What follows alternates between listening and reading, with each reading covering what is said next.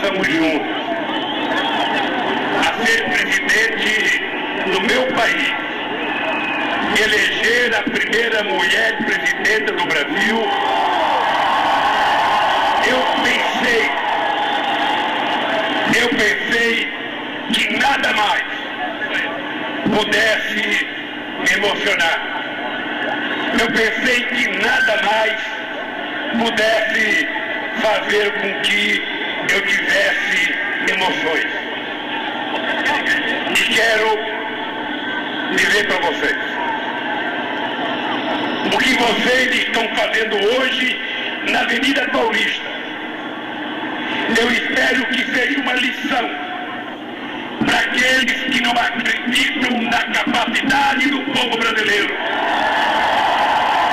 Números da. E nós queremos dizer mais uma vez: o povo brasileiro aprendeu que democracia não é um direito morto sem nunca ter regulamentado na Constituição. O povo não quer que a democracia seja apenas uma palavra escrita, temos direito a isso. O povo não quer ter direito apenas à comida, ele quer comer de verdade, ele quer estudar de verdade, ele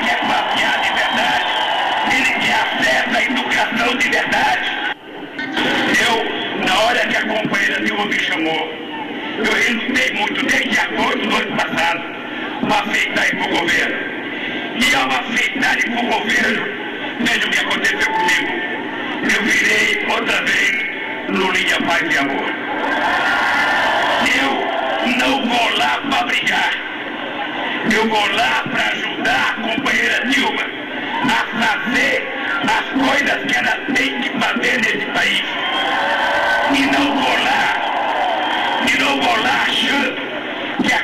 Não gostam de nós são menos brasileiros que nós.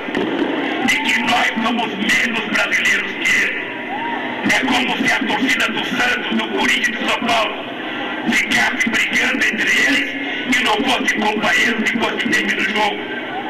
Eles tratam a Dilma como se fosse uma mãe que aceitar a família na mesa não tem todos os condimentos para fazer uma boa comida, os filhos se levantam começam a jogar fora o que tem.